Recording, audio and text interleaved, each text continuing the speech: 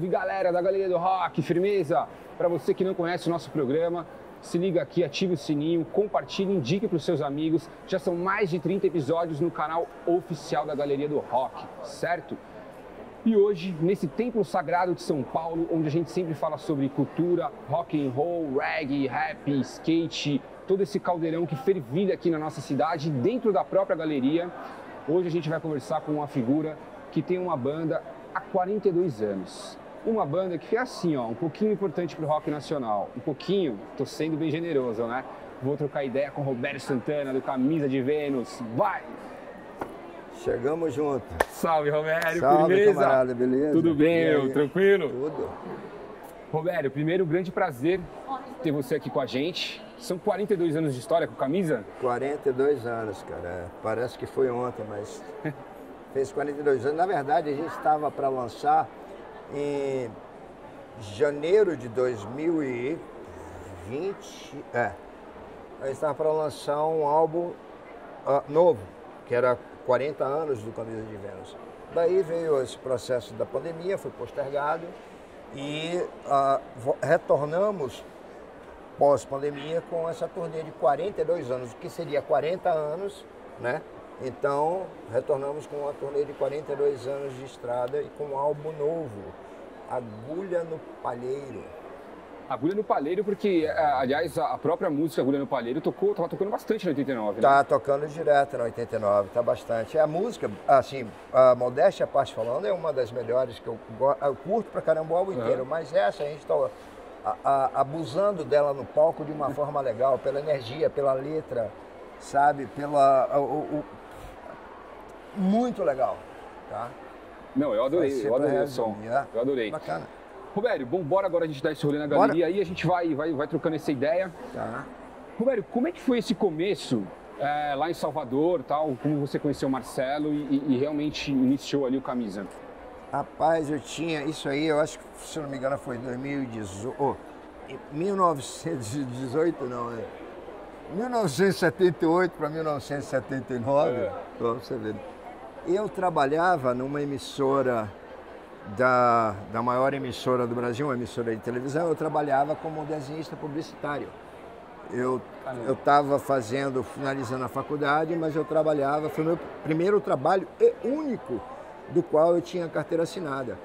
Marcelo, no, Marcelo Nova, no prédio, ah, no fundo, que fazia parte do mesmo complexo, que era o, o prédio da TV, o prédio da rádio, Marcelo era programador dessa rádio. Tá. Ele tinha um programa chamado Rock Special. E a gente se conheceu ali. Era um programa legal pra caramba, bicho. Assim, Caramba. parava. Salvador não é, até hoje é uma província, mas na época era mais ainda. Então Marcelo tinha um programa que é o ar, chamado Rock Special.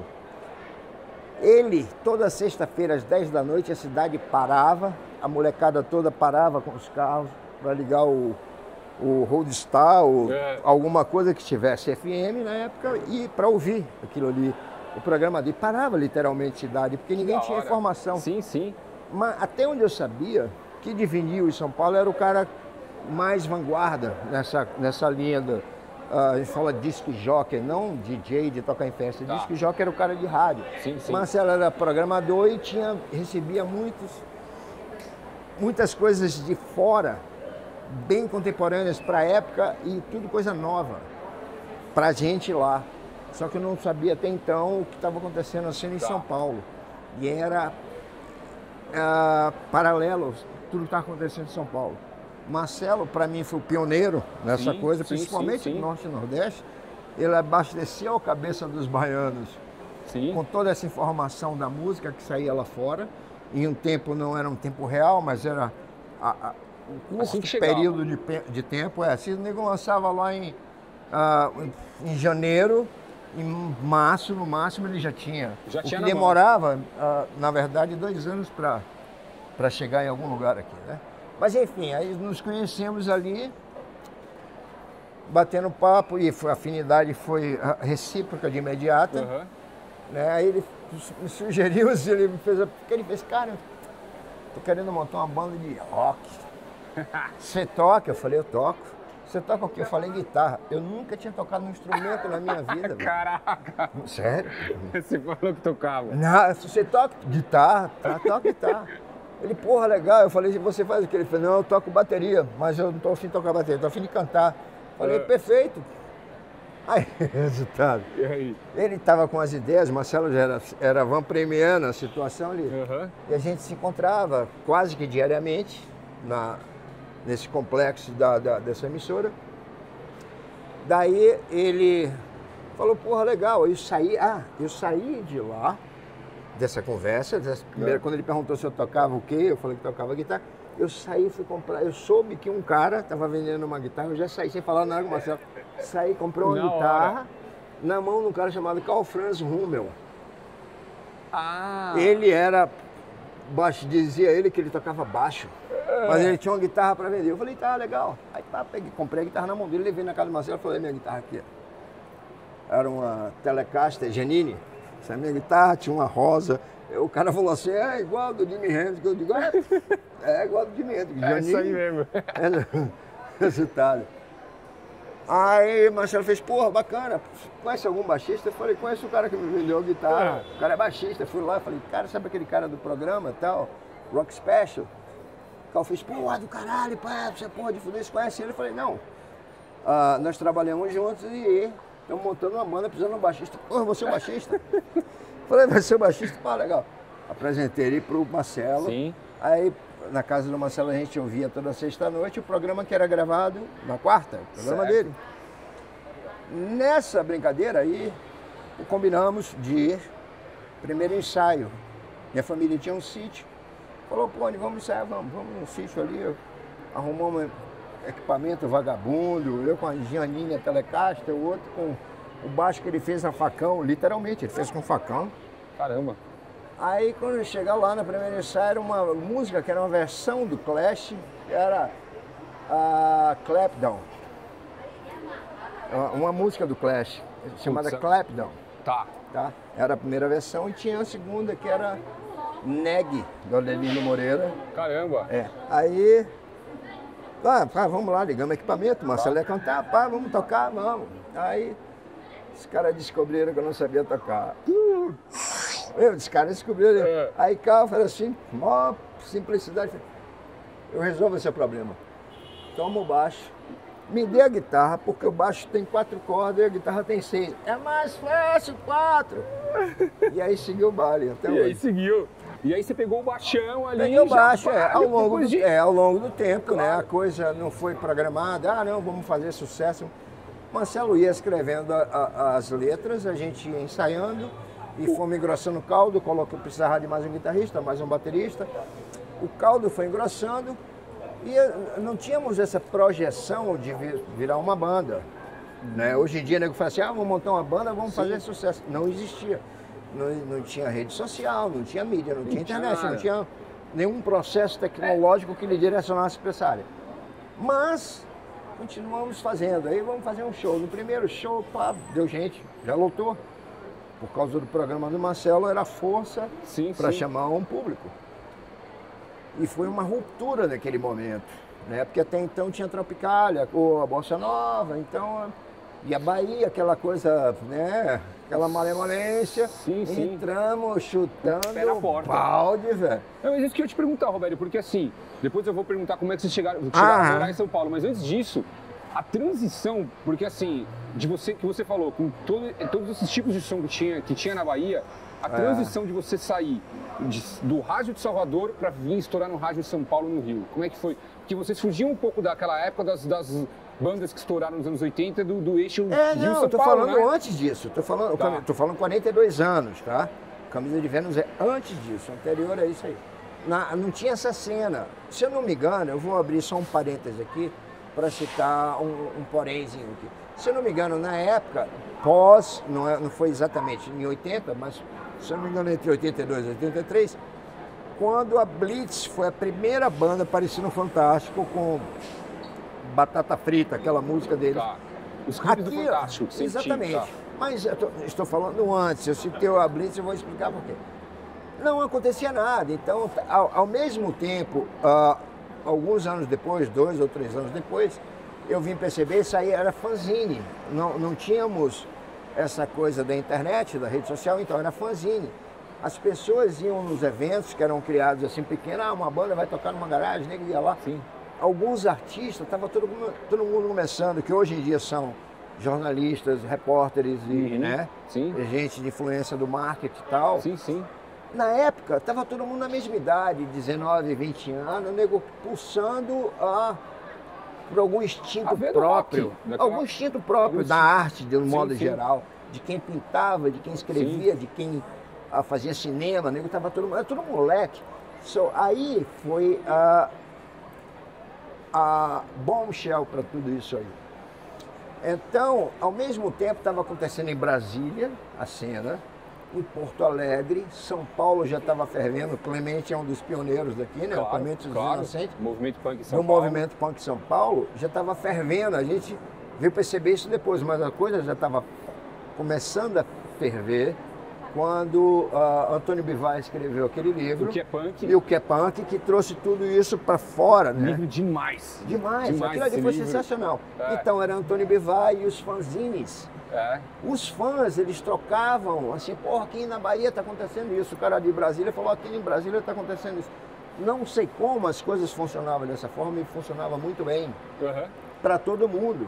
Estava surgindo, aí ah, passou, passaram mais uns dois anos, aí, Capital Inicial, Legião Urbana, Plebe Hood Plebe Hood, sabe? A- As coisas estavam acontecendo começaram a surgir, né? começaram a surgir. Em Porto Alegre, ah, Replicantes. replicantes, tá? Exatamente, replicantes. Então as coisas estavam acontecendo de uma forma paralela, inconsciente, assim, estava todo mundo com. A, a juventude, bicho, estava com necessidade de, explodir. Exatamente. É, ao invés de nego ficar em casa pensando merda, É. nego assim, pô, eu quero tocar. Quero e e um essa som. rapaziada, ninguém tocava, que nem eu. Sim, sim. Ninguém tocava. O nego falava assim, eu pegava uma guitarra e saía tocando. E aprendia na raça, né, Era, aprendia na raça. Não- E, e era aquilo ali, sabe? E funcionou para É. muita gente. Robério, aqui algumas coisas que a gente Aham. achou aqui na Aqualang, aqui no Magrão. Isso aqui, bom, a gente acabou de falar Tá. Esse dele, foi né? o primeiro álbum, que na verdade... Essa fotografia que você adora, né? Olha a fotografia que linda aqui que o Puta Robério foto adora. escrota do caralho. Mas esse, na verdade, foi o, que, o, o álbum que trouxe o Camisa de Vênus para Ah. uma cadeia mundial. Tá certo?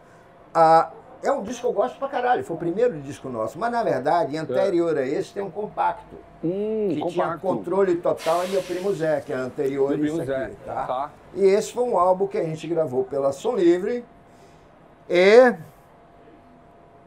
fomos demitidos da Som Livre pouco antes de ser lançado o Ah, álbum. tem essa história, é verdade. Tem, por causa do nome Camisa de Vênus. E a ironia do destino, o cara que barrou o nome Camisa de Vênus era o pai do Cazuza, João Araújo. Caraca! Bem... Mas o Barão era dessa gravadora ou não? Era. Era, Era, o Barão já estava fazendo sucesso. Não, não. Mas também Começamos não. junto, estava gravando junto. Se eu não me engano, o, O primeiro se eu disco. não Inclusive, eu lembro que quando a gente estava gravando, o Barão estava em outro estúdio. Tá. Com Ezequiel, Ezequiel Neves ah, produzindo ele. No mesmo complexo tinha outro estúdio, Outro o AIB. estúdio. Ah, se eu não me engano, isso era na mesma época, porque a gente estava gravando no, no mesmo período.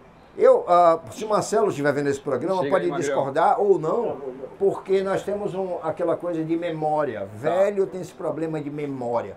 Mas eu acho que eu estou certo. Tá? Tá. Se alguém ah, ah, achar que não, me corrija. Mas eu acho que o, o período é bem isso aí. Caraca. Bom, claro que a gente tem aí vários clássicos aí do, do, do- do Camisa, Batalhões de Estranhos, e, e- e mais esse aqui a gente tem uma. E essa capa. Sabe onde é que foi feita essa capa aqui? Essa capa é demais, né, Magrão? A capa é muito boa. É essa, Esse é muito isso bom. aqui, essa capa, foi feita, a, essa fotografia, isso é Marcelo, né? Vestido de velha.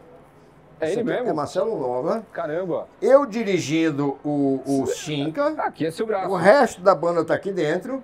Meio-dia na Paulista parou tudo, porque. eu, não, eu- eu não vou nem dizer o nome do fotógrafo, pra porque se galera eu aqui tiver a, errado. a, a capa aqui do É. Cinca Chambor. Foi na Paulista, imagine você parar a Paulista meio-dia de um dia da semana qualquer. Caraca, Cara, barato. É, antes, o, o Viva, o ao vivo é antes desse, antes, né? Não, não. É Ao depois? vivo foi na transição que nós éramos da RGE, Tá. tá? Saímos da Som Livre, fomos para a RGE, era uma transição da RGE para Warner. Foi. Então a gente tinha que fazer uma maracutaia qualquer para se livrar e fizemos Pagar aquele, o disco que devia. pagar o pra disco que ele, devia, né? fizemos ao vivo. Mas na verdade aquele ao vivo é um tremendo de um álbum sensacional. Ele é depois cara. do Aquele- War. Antes. Antes? Tá. Esse aqui é, o primeiro oficial da Warner. Primeiro oficial da Fizemos a Warner. transição RGE para Da Warner. Warner. Agora, duplo sentido. Puta álbum do Como é que foi caralho. gravar esse disco aqui? Isso aí, Que, aliás, É. temos em CD aqui também, ó. eu tenho uma memória disso aqui boa e ruim. Ruim por quê? Porque foi no momento que, quando a primeira vez o- o- houve a ruptura do Camisa de Vênus, já para dar uma parada. Tá. que até então não sabíamos se era definitivo ou não.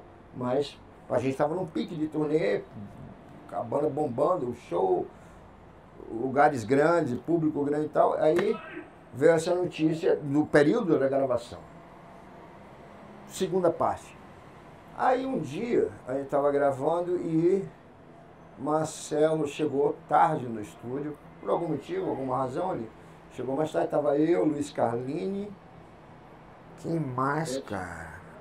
O, não era o Pete, era o irmão do Gessé, que toca piano, Ah, o Emanuel. Emanuel. Emanuel? É, Cara, O ele, é, ele- é. você não tá ligado. Ele, é, ele era amigo do meu tio. é ele, Emanuel, exatamente. Eu, caralho, eu O ele de novo. o Mika, que era o nosso engenheiro de som, de, Caramba. de, de, de PA, de, de, de, de monitor, porque o outro era o Raymond.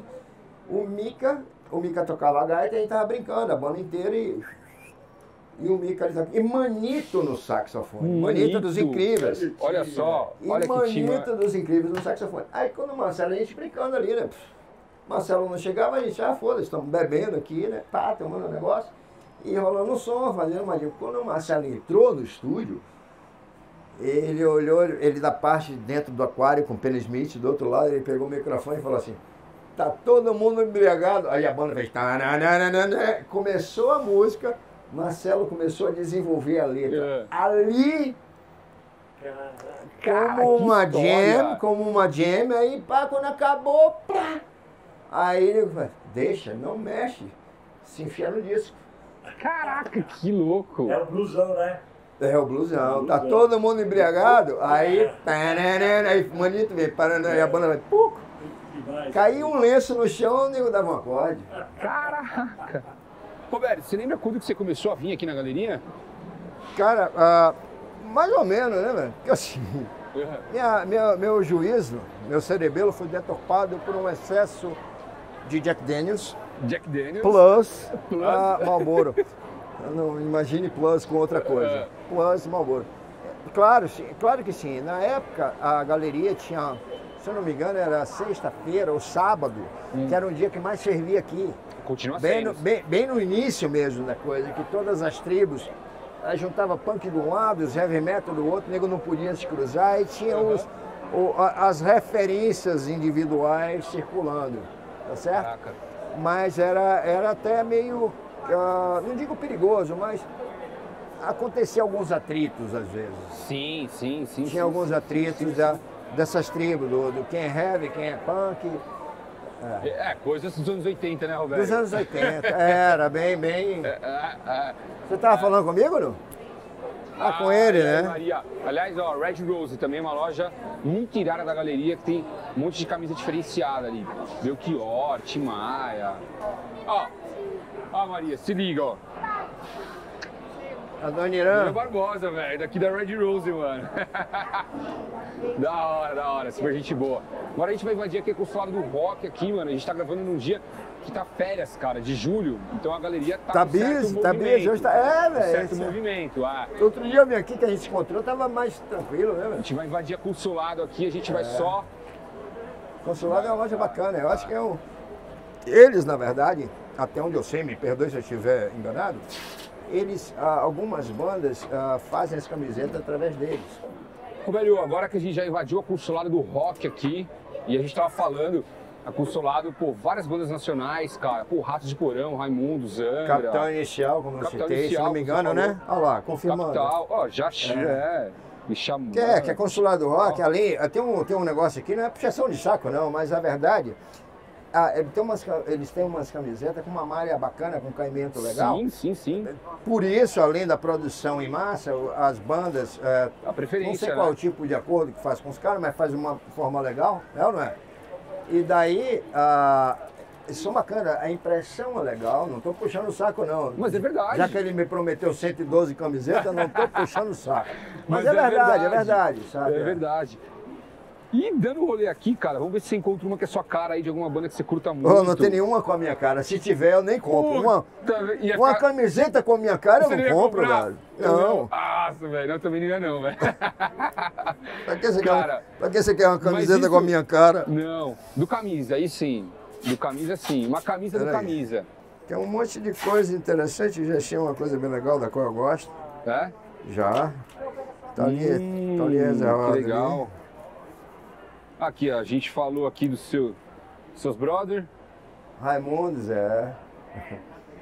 A gente falou. Raimundos é bacana, cara. Sempre gostei do Raimundo. Sempre gostei do Raimundo. Com o Rodolfo, com o Digão, sabe? Assim, né? O Digão É segurou nem- a banda muito. Segurou a banda. É, Toda, muito né, legal, cara? cara. É. Ó, não imagino. Como você é baixista, eu imagino que você deva gostar desse cara aqui. Motorhead, o ALM, é. Outro cara com foda, certeza. né? Essa camiseta do Ratos é bem legal, né? Essa do Rato tá bem legal, né? É. É do disco Brasil. Aham, é. Disco deles. Agora, essa aqui é o. Somos a favor do contrário de tudo que que está aí. Porra, gordo, gostei. É, o símbolo Eu clássico do também Rato. sou. Eu sou a favor. Tudo que está contra o que está aí é de foda. Gostei do título. É. Da mensagem. É, Como é que foi esse- o começo de te influenciar assim? The Clash? Qual foi a onda? Cara, a número um pra mim É. foi o The Clash. O The Clash, pra mim, foi a maior influência. Eu acho que no mundo inteiro, muita gente, até hoje, de qualquer área da música, quem estava ligado na cena do que estava acontecendo no final. É porque as pessoas pensam que The Clash é uma banda dos anos 80. Não, The Clash é uma banda dos anos 70. Tá. Finado, meados de 70 para o último show, se eu não me engano, foi em 82, alguma coisa dessas. Clemente, me corrija se eu estiver errado. É. Mas ah, é o seguinte, a, uma puta de uma banda, um texto do caralho, uma presença de palco fantástica, a performance dos caras era. Eu roubei tudo do Paul Simon, tá? Assim, me inspirei bastante nele ali. Nós tínhamos uma coisa, um elemento peculiar entre eu e ele, era que não sabíamos tocar direito. Paul Simon, não precisa me perdoar porque é verdade. Mas, mas é o seguinte, aí uma vez, eu estava com o Theo Castilho, que era um dos donos do Carbono 14, Sim? nós fomos no Maxud Plaza, o Bud Guy estava fazendo um show, lá embaixo no subsolo tinha um, eu não, chamava 150 Nights, era o nome do, do pub dentro do Maxud Plaza. Eu estava lá, eu, Theo Castilho, mais umas amigas e tal. Aí Theo vai mijar. É. Quando aí Theo volta e fala assim, mano, você não acredita aqui que eu vi lá em cima no, no lobby. Eu falei, quem? Ele falou, porra, os caras do Clash. Eu falei, como o cara do Clash? Nossa. É, é porque o Big Audio Dynamite tava, tinha chegado no Brasil para fazer o show. Caramba. E o Paul Simon estava viajando com um amigo do Mick Jones. Caramba. Eu não falava inglês nessa época. Zero, total. Aí eu fui lá em cima, eu e o Theo. Que o Theo era o meu translator, certo? Aí chegamos lá em cima, tava o Mick Jones, Don Letts, né? Que é um dos uma figura importante da- do negócio do Clash, da Aham. composição do Clash, principalmente de estúdio. E, e o Paul Simon estava circulando com uma gata gigante, que ele é alto pra caralho, uma tremenda uma mulher bonita pra cara que era uma carioca. Eles tinham É. feito show no Rio, vieram Sim, pra São sim. Paulo. Aí eu falei, pro, eu estava gravando, Camisa de Vênus estava gravando o álbum Correndo Risco, aquele da, da- sei, do, do, sei, do correndo risco. né? Sim, do Finca sim, Chamoli. sim. Tava gravando aquele álbum. E nesse, no intervalo de uma noite eu tava nesse show do Body Guy. Aí eu falei pro, pro Theo, digo, porra, pergunta pra ele, eu tô dentro do estúdio, amanhã, tal hora, se ele não quer ir. Ele faz o que ele quiser no contrabaixo, uma música, qualquer Que coisa. louco, que história Foi. louca. Aí ele, não, eu queria fazer um show, quer dizer, ele não, o Mick Jones com o Big Al Dynamite.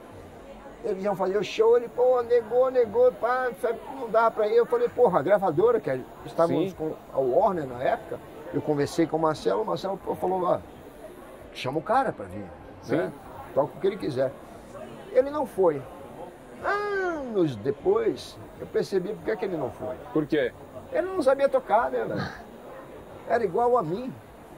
É. Não era à toa que eu me inspirei nele. Não, não, mas, é, não, mas é, eu, eu acho, é só uma suposição aqui, tá? Ele ficou meio se retraiu, porque o cara não tinha mais Clash. Não tinha mais. O cara não estava mais com o The Clash, estava viajando com um amigo que era Mick Jones, Aham. numa turnê mundial. E ele estava ali do lado, com a carioca, fazendo o pif-paf com a carioca, maravilhosa, Aham. linda e gostosa. E, e o cara negou com o dinheiro da frente da Warner. Eu falei, alguma coisa tem. Alguma Ah, coisa Por tem isso que eu aí. percebi. Ah, Mas, ah, uma pena. uma pena. Ele perdeu a oportunidade de tocar comigo. Perdeu a oportunidade de tocar com o Roberto Santana. Essa que é a verdade. Mas, Roberto, aqui só pra gente. Qual camisa você escolheu daqui da Consulado? Rapaz, eu olhei todas aqui. Todas as Mas camisas você- são bacanas pra caramba. Porque tem o caimento da camisa que me. Que é o seguinte, não é. Vamos, vamos falar direito aqui o negócio. Não é pelo fato dos caras me presentearem com a camiseta que eu vou aceitar uma camiseta. Que vai ficar duro. Você tira a camisa, a camisa fica em pé em cima do balcão. Aqui é- o tecido tem um caimento. Eu escolhi essa aqui, da Sankro, Ó, certo? a série que você diz aí que maratonou muito tempo. Maratonei, a televisão sangrou, cara. É do caralho, eu gosto disso aqui, tá? Então eu vou pegar ali pra você, ó. Galera, ali, deixa eu só pegar, vou pegar ali pra você. Chega aí, Roberto. Pegar aqui pra você, ó. Porra, bacana. Separadinha essa aqui, é a tua, aqui, ó. Tamanho G. Nós Fala, isso não, você fala tamanho G, velho. Os caras pensam que eu sou que tamanho. Os caras colocando na sacolinha da É consolada. porque como eu aí. lavo ela todo dia, para se ela encolher, ela vai sempre continuar no tamanho legal. É, lógico, mas aqui é qualidade. Porra, obrigado, velho. Valeu, obrigadão, hein? Valeu, obrigado. Valeu, valeu, consolado. Obrigado. Roberto. Oi. e- Não, não, mas esse aqui é foda, hein? Esse é um álbum legal pra caralho. Demais. Demais. E é, isso aqui é muito Essa bacana. fotografia tá melhor que a outra? Sim, sim. tá mais da hora? sim, sim, não é porque é, essa aqui foi uma criação interna do Camisa de Vênus. Tá. tá? A concepção de capa, de tudo, foi, um- foi uma criação interna do Camisa de Vênus. Ah, conceito do Marcelo Love, inclusive. Mas a outra, ah, do primeiro disco, é apenas eu não gosto. Não é que eu digo que é uma Ah, sim, merda, não. sim, sim. A foto é, é- foi um momento, sabe? Ah, não tínhamos esse acesso, não éramos nada com. não éramos uma banda expressiva no mercado. Mas esse aqui é um álbum legal. Não é o meu melhor álbum do Caminho de Vênus, mas é um álbum legal. É, mas logo de cara, numa Tejuna Dark, Sim, Joana Dark foi, que foi o pontapé na lua. Ladrão de né? Banco, Gotham City. É, ladrão de banco. Tem Gotham- É, então, Joana Dark foi o pontapé inicial aí, né? Cara, é, é a Penélope? Pe- Penélope, Mano, juro por Deus que eu não sabia e eu reparei. eu Penélope, a, a irmã Felícia e esse aqui, o Rodolfo, o Dodô, ah, filho do Gustavo Miller. Caralho, mano, a Penélope nova, velho. Eu, eu tinha, acho que eu já, já vi essa capa várias vezes, eu nunca parei. É, sabe, pra Penélope. ver mesmo. Aí você É, olha aqui você vê você fala, caramba, mano. ela, ela não adianta, se ela tiver adianta. 70 anos de idade, você vai saber que é ela. Você vai ver que é ela. Ela, Olhei é, assim é. o rosto e falei, caralho, que irado. Pô, aliás, a Penélope, velho, acho que é que ela vinha aqui no programa também, da hora, velho. Devia chamar a mano. Penny não, pelo amor de Deus, Penélope. Penélope, já tive. Relembrar, aliás, a, Su, a Soninha já veio, a gente tá trocando ideia com o Thunderbird agora, relembrar os tempos de MTV. Gastão, já veio não? Não, mas a gente quer muito. É. Penélope, qual aqui? tem um programa com o Gastão. Eles Ga- tavam- Gastãofobia é, ou é Casa Gastão, né? Casa Gastão, ah, Gastãofobia é foda. Mas ó, vamos lá dar mais um rolê que a gente vai numa outra loja. Valeu, Robson. Deixa eu te mostrar agora, Roberto. A WA Sports, que faz camisas Ah. de futebol. Entre elas, aqui na Galeria do Rock, a loja física com camisas de futebol do Iron Maiden, licenciadas do Iron. Pô, que legal, cara. Então, além dos caras fazerem pro Bangu, os caras fazem pro Madureira do Rio, faz do Bangu e Madureira também? Bangu e Pô, Madureira, que legal, clássico. cara. Chega aí, Francis. E aqui é a loja que, que, que é oficial do, do, Ó, do, quem do chegou aqui agora? Do Iron. Beleza? E- Pô, que legal, cara. Ah, não sabia que vocês, vocês têm uma, essa interação direta com Bangu e com Madureira? Sim, é, a gente produziu. É time de base? é, É, produziu camisas específicas para um ano em que o, o Bangu, ou, aliás, o Madureira jogou na, é, em Cuba, ele foi convidado para jogar em Cuba. Pô, que e aí a gente fez uma camisa é, comemorativa de, se eu não me engano, de 50 anos. Essa camisa foi um sucesso Caramba, danado. pô, que legal. Hoje a empreitada da gente. Você tem essa times- camisa para mostrar pra gente? Não, no momento eu não tenho, mas no site da WA qualquer um pode ir lá, tá lá Tá. vendo ainda as camisas. Muitos artistas têm lá no Rio e no Brasil inteiro. A Aham. camisa já foi até exportada. Pô, que legal, cara. É, Bacana. hoje, hoje o que é o carro forte da empresa é o Iron Maiden. O Iron Maiden, é. pra- né? É porque eu, a gente- eu tava conversando A com o Fernando ali. aí que a gente- Eu estava conversando com ele ali ah, um pouco antes. Ah, essa coisa quando o do futebol brasileiro, Sim. no, no final de 70 para 80, as bandas que vinham tocar, que eram bem poucas as bandas que vinham tocar, e até hoje continua dessa forma, ingleses e ah, são os caras que são fanáticos pelo futebol. Sim. Tá? Iron Maiden, Assim como o Steve Harris. e Steve Harris, exatamente. E, e- e- mas o pioneiro disso aí foi o Bob Marley. Quando veio pra cá, Ah, lá Santos, sim, é atrás. verdade, que ele tem camisa fora do É, aí teve, organizaram futebol. Porque as bandas americanas, nego, não sabe nem o que é. Nego, soca foi uma coisa inusitada, assim. Aí veio o Pelé, foi pro Cosmo, mas soca continuar, né, aqui é basquete desde velho. Robério, e a gente tava falando também ali, né, que você é produtor técnico de shows internacionais. Isso. E você já trabalhou com o Iron, né? Já trabalhei Com com um Iron seu trabalhei, já trabalhei com Iron Maiden. já. Alfredo, Alfredo era um cara, é. Alfredo, quando, se eu não me engano, desde a minha primeira vez, Alfredo me corrija se eu estiver falando alguma coisa errada, mas a, o a- Alfredo era o cara que fazia, minha produção era produção técnica, Tá. né, cuidava de montagem técnica, toda do Alfredo era o cara que fazia o link com a banda, É manager? É não, não. Não, Não, não, era é o- manager. Produtor. o cara, não, é, to- é, também é produtor, todo mundo tá ali é produtor, mas Alfredo tinha uma função mais específica com a banda, com a logística da banda, Sim. de movimento com a banda. Produtor de infraestrutura, né? Daí é, o cara fazia um trabalho bem feito, do qual toda vez, não importa a empresa que contrate o Iron Maiden, Sim. é a- uma exigência do Iron Maiden é colocar o Alfredo, que é o, o receptivo dele. Puta, que legal, que legal. É, é até hoje, o Alfredo nas turnês, a América Latina, tudo dentro do avião. Então ele vai ter o prazer de estar por aqui co- com a gente assistindo a Iron Maiden em setembro, né? Espero Será que que é o sim. cara que é convidado para fazer esse Espero tipo que trabalho? sim, é. E faz tempo que eu não vejo ele, né? Porque a, a vida né, nos encaminhou para cada um para um lado.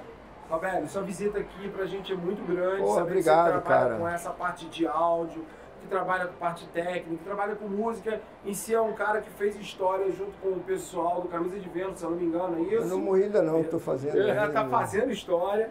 Então, cara, a gente quer te presentear com um produto nosso. Porra, obrigado, cara. Obrigado. curtir. Eu espero que você goste do produto. Fica à Eu vontade posso abrir aqui? Fica à vontade. Lógico. Segura esse aqui. Seguro. Isso é um presente, uma camisa muito bem vendida aí de um álbum que é um registro que a gente vende pra caramba aqui, que é um registro Segura aqui, fodástico, como os caras te falam. Peace of Mind é um dos nossos produtos. Foda. gostei. Já gostei pra caralho, velho. Que porra de fuder.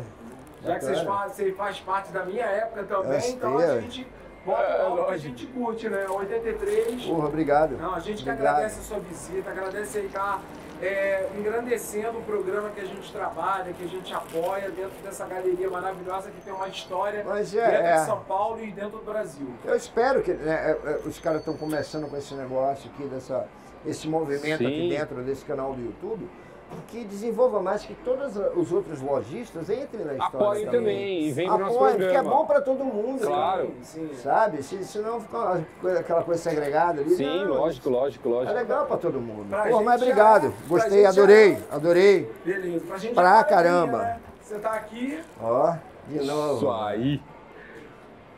E Robério? Eu vou até comprar uma bola para jogar com ah, essa. agora eu quero sim. Francis, valeu. satisfação. Obrigado mais Fernando, uma vez. uma vez, Roberto. Valeu, velho. Obrigado. Vou botar na já sacolinha pra você levar. É só na tá sacola. Não, bota aqui, eu tenho uma sacola aqui, ó. Tá. E Já, Tem uma sacola aqui. Obrigado. já põe as duas aqui. Robério, e agora te agradecer por todo esse programa que a gente trocou ideia, tem essa cola do Iron ali, Sacola maior. por tudo Vai isso. ficar melhor, né, meu? Vai? Por esse acréscimo de cultura aí, de rock nacional que você trouxe pra gente, mergulhar na discografia do Camisa. toda essa sua trajetória aí desde os anos 80. Poxa, eu abri um porém aqui, só para finalizar. Nós conversamos sobre tudo, o histórico do camisa, blá, blá. Lógico. mas sem esquecer do seguinte. No período da pandemia, nós estávamos produzindo o Agulha no Palheiro e era o lançamento, que ia ser no ano de 2020, do, da turnê 40 anos com o lançamento desse álbum Agulha no Palheiro. Então, esse processo da pandemia postergou tudo para agora. E tem esse álbum no- novo, nosso novo, que está sendo lançado agora, mas gravamos há dois anos atrás. Sim.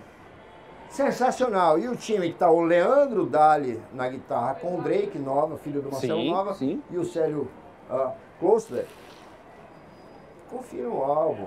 Confiram o álbum Agulha no Palheiro. Tá foda, bicho. O negócio é desse tamanho para entrar, viu? E tá, é, Spotify você escuta inteiro aí, eu já escutei. Tem, tem, tem. Spotify tem, escutei tem, várias tem. vezes. Todas as, as plataformas. já. Não, esse disco tá demais. Tá, Tá demais. certo? Roberto, obrigado. Mais uma vez, tamo junto. Valeu. Esse foi mais um Rolê na Galeria.